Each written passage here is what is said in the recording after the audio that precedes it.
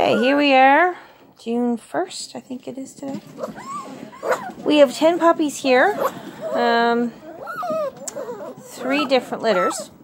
I'm going to go through them all and tell you which ones are available and which are not. Um, the first one here is Bono. Hi, Bono.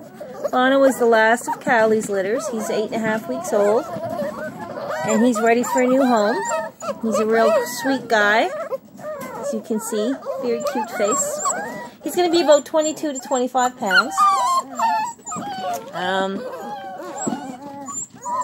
he goes there. The next one we have available is another black pup. This, to make sure I got the right one, this one over here is a little black female from Ruby.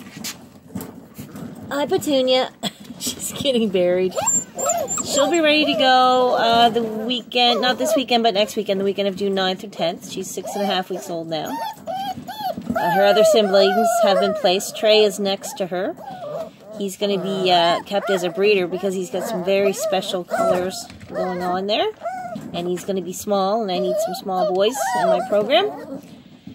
The other puppy from Ruby's litter and again, these ones now are taken. That is Poppy there. Poppy is smaller than her sister Petunia and a bit curlier with some white. And then we have sweet little Lily, who is another party. She's very tiny. She is also spoken for. Hey Lily, you're very cute. Lily, sorry, Lily and Trey and Poppy could even come in under 20 pounds in the micro mini category. There's Bono getting in on it. Hey, buddy. Are you a photo bomber? Next, we have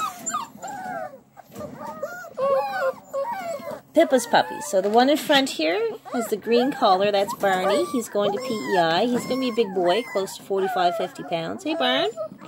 I know. Next to him is his sister, Wilma, with the purple collar. She's going locally, so she is spoken for. Hi, Wilma.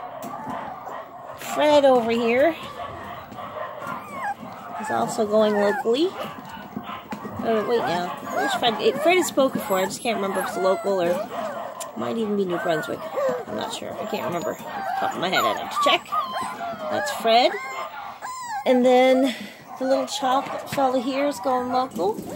He and his sister, he's Dino. I don't know if you're sensing the Flintstone Stone team theme, you might be right, but that's Dino there. He's very calm, very small for a Pippa puppy. Pippa's puppy's father uh, is Gilroy, and then this little girl in the back, also again very calm. She's smaller, like Dino.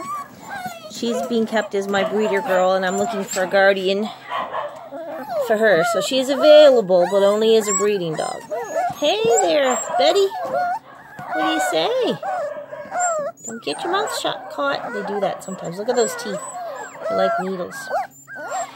So, that's our girls. Ten puppies down here. Sorry, I should say that's our pups.